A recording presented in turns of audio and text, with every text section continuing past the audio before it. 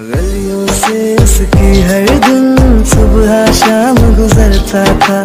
चेहरा उसका देख में दिल को सुकून सा मिलता था। उसकी एक झलक से ही मेरा दिन बन जाता था। उसकी बातें सुनने को कितने बहाने बनाता था। याद कहाँ बाज आती है?